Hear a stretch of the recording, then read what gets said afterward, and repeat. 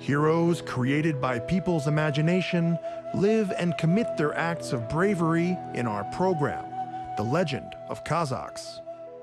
Legends are an invaluable cultural heritage passed down from generation to generation.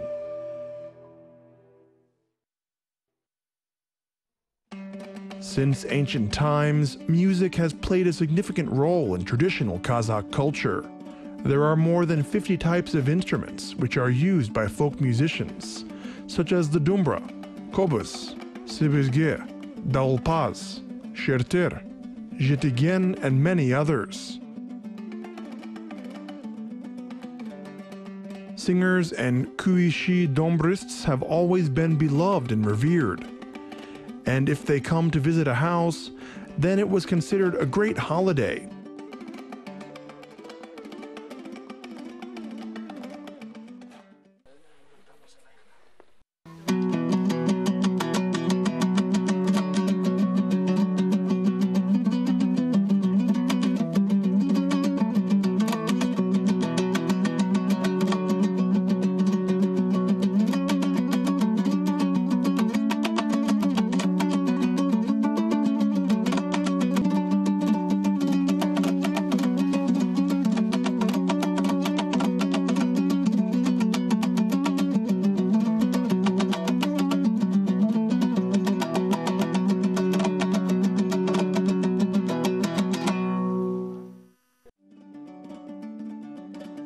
distant past, the strings of the dumbra were made from the guts of animals, which made a gentle, soft, and melodious velvet sound of the dumbra. All folk performers such as akuns, zhirshiz, and dumbra players possessed a delicate perception of the world and a unique memory, thanks to which many works survived in the musical history. Music was inextricably linked with the life of a person, which is his way of life and traditions. After all, music from immemorial time was for the Kazakh people a direct source of knowledge, which brought people understanding of the beauty of the world and the sublimity of feelings. Folk melodies are distinguished by their ability to penetrate and their sincerity. Kazakhs have a lot of national musical instruments. However, the most beloved was and remains the beautiful dombra. A lot of legends have been written about the origin of the Dumbra, and we will tell you about one of them now.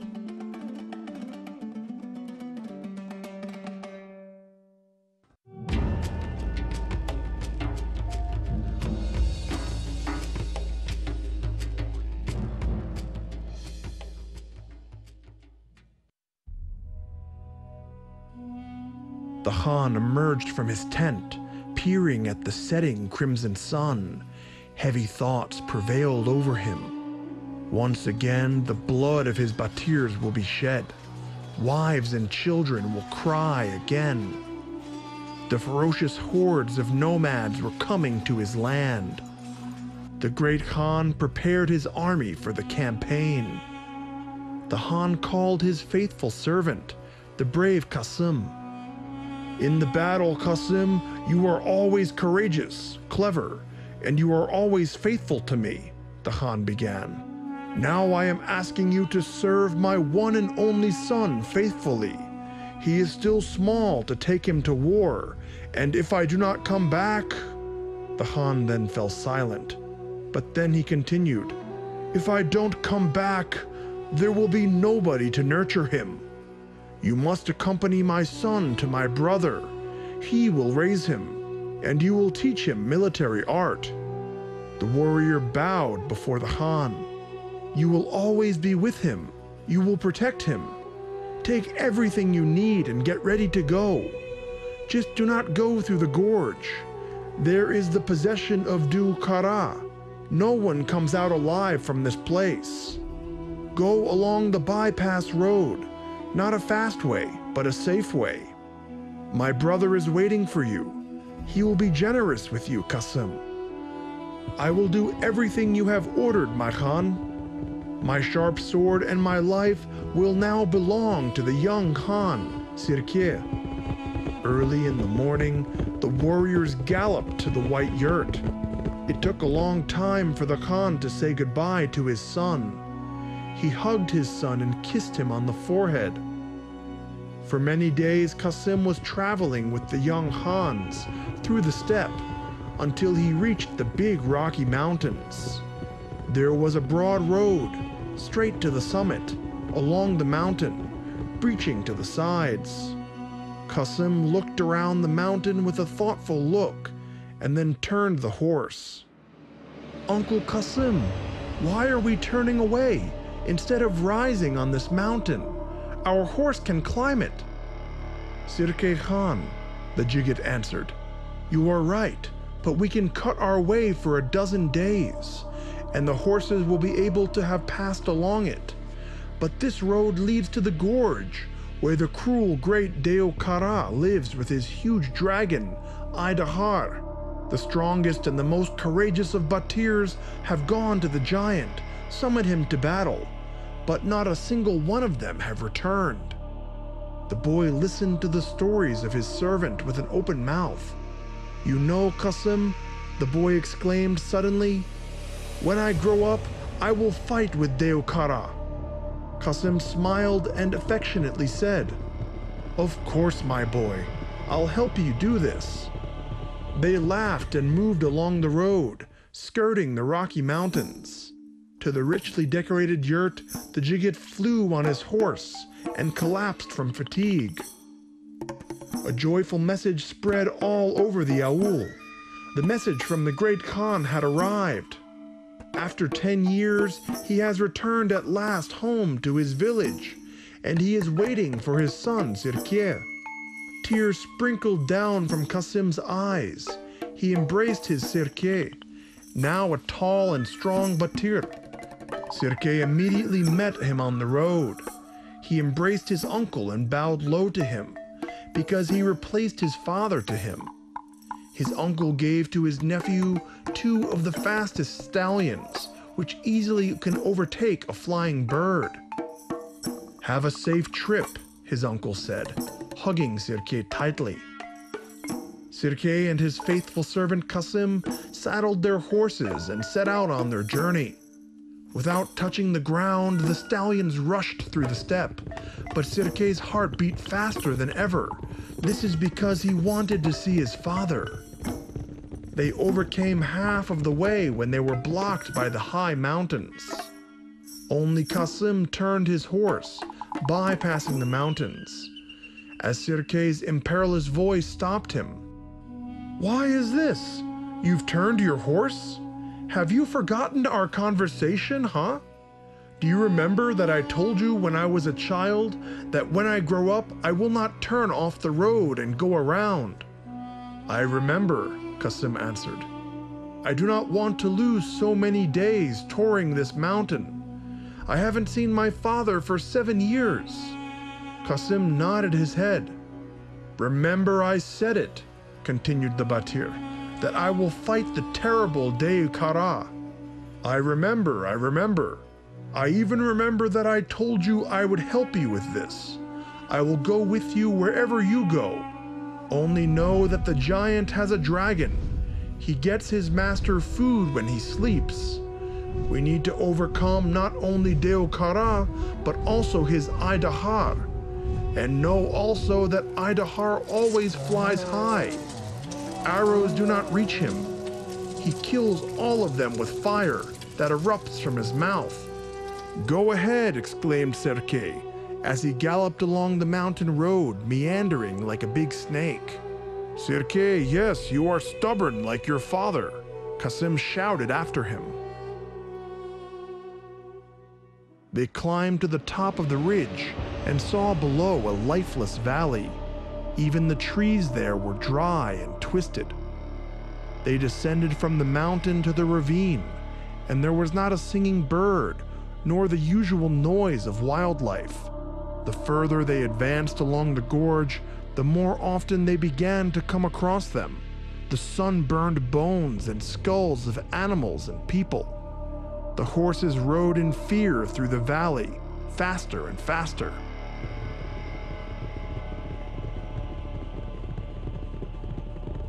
Suddenly, a huge shadow fell over them. The Batirs raised their head and saw the big, awful dragon. He circled above them and descended below.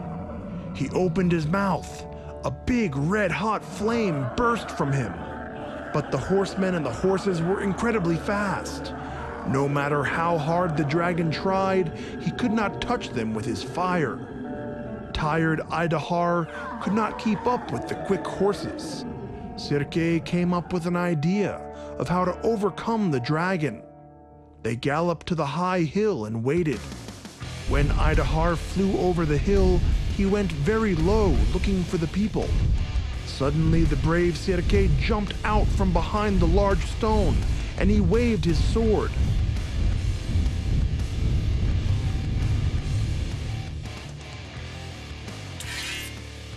Idahar's head flew off, and the dead dragon crashed to the ground, surrounded with clouds of smoke and fire.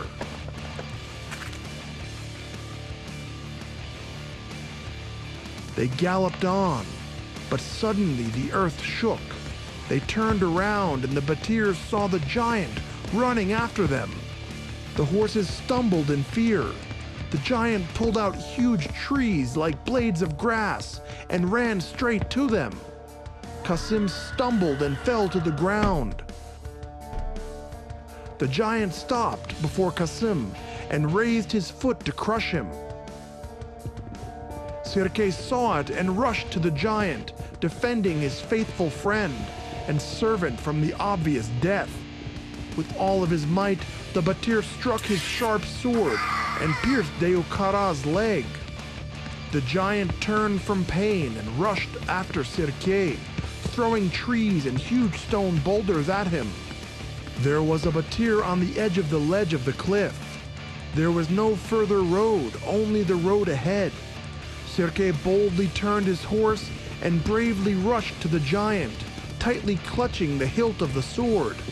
But as soon as Deokara ran to the Batir, under his feet the stone crashed. Before that, as the giant was very heavy, under the weight of his body the ledge of the rocks collapsed, taking to the abyss the brave Batir and the bloodthirsty Deokara. For three days and three nights Kasim shed tears. He could not forgive himself for the death of the young Khan, because Sirke was like a son to him. He sat over the abyss and mourned the brave Batir. He felt his heart breaking in his chest.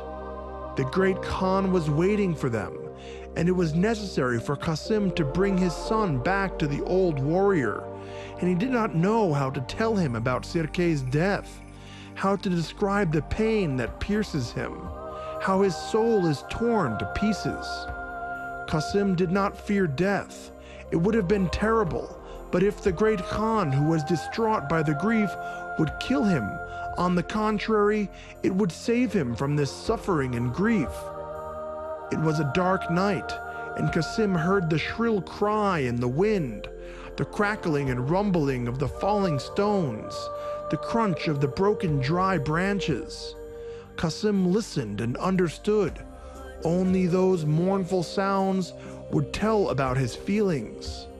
He fell asleep and saw something made of wood in the dream, with long strings. As soon as the sun rose, he approached the tree torn out by the giant, and he began to hollow out of the trunk what he had seen in his dream.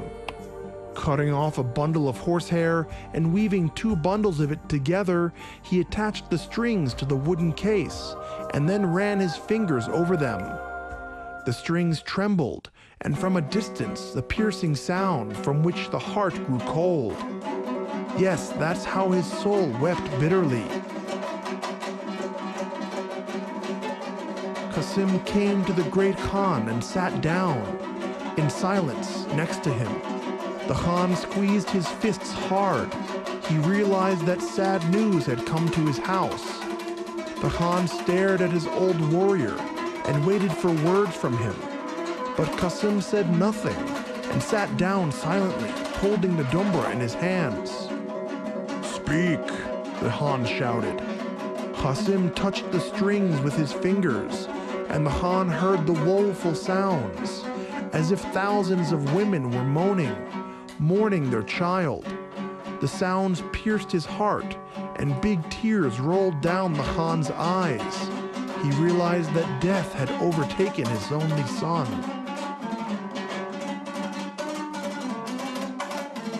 A great grief lay over the Aul, but the Khan did not punish the faithful Qasim. In fact, sometimes he would ask him to play on the Dumbra, which told about Sirke's heroic death.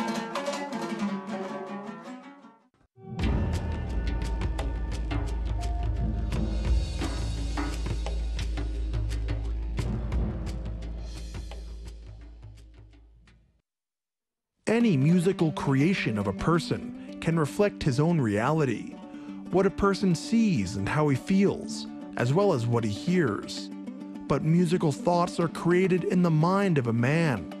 That's how melodies and songs are born. Every significant Kazakh family event is celebrated solemnly, furnished with appropriate rituals, which were the reason for creating tunes and songs and kuis. As a rule, they served as an explanation of the ritual. The most common national musical instrument is the dumbra. The technique of playing the dumbra is similar to the methods of playing any plucked instrument. The left hand of the musician slides freely over the neck.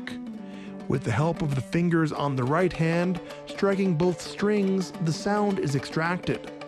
The singing is velvety, with rhythmic sounds of the dumbra, talking about the boundless steppes, the quiet Jailaos with their peaceful grazing herds.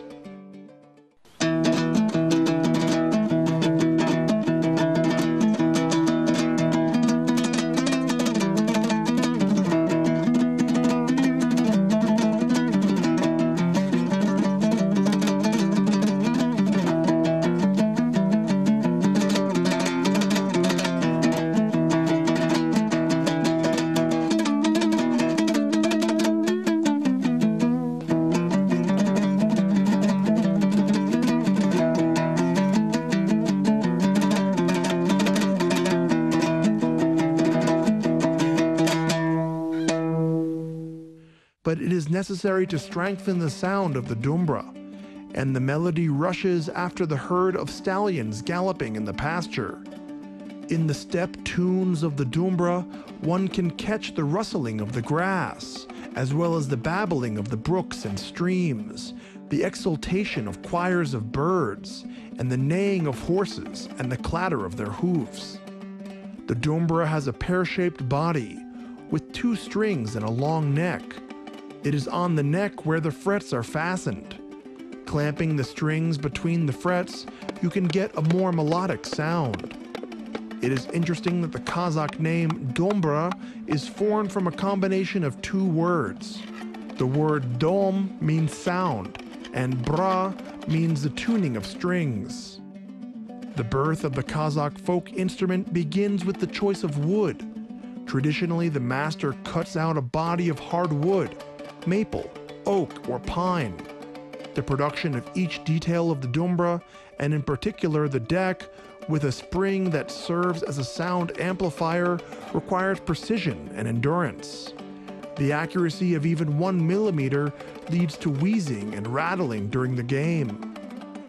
The Kazakh people were and remain the creators of wonderful music, colorful, original, and rich.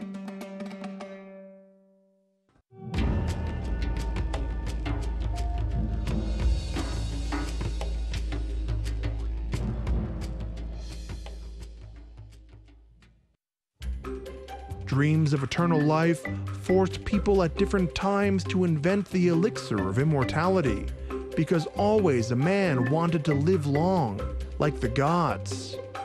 True, it was never possible to create an elixir of youth. However, kumus can be attributed to drinks that give you health and youth. In the next program, we will tell you one of the legends about the origin of kumus.